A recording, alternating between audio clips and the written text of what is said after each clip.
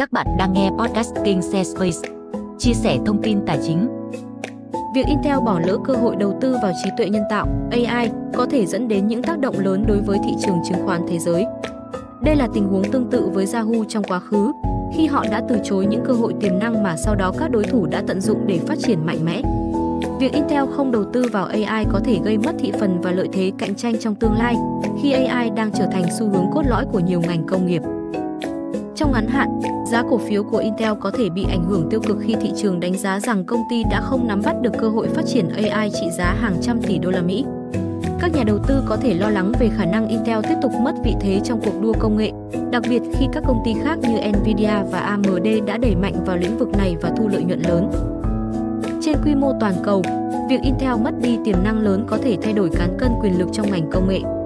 Các công ty tập trung vào AI sẽ trở thành tâm điểm, thu hút sự quan tâm của nhà đầu tư, trong khi các công ty bỏ lỡ cơ hội này có thể gặp khó khăn trong việc duy trì sự phát triển bền vững. Thị trường chứng khoán thế giới sẽ tiếp tục theo dõi sát sao các động thái của Intel và các công ty công nghệ khác để điều chỉnh kỳ vọng và định giá cổ phiếu. Quyết định của Intel có thể không chỉ tác động đến công ty này mà còn gây ra những thay đổi trên thị trường chứng khoán thế giới khi các nhà đầu tư điều chỉnh danh mục đầu tư để phản ánh tương lai của ngành công nghệ và AI.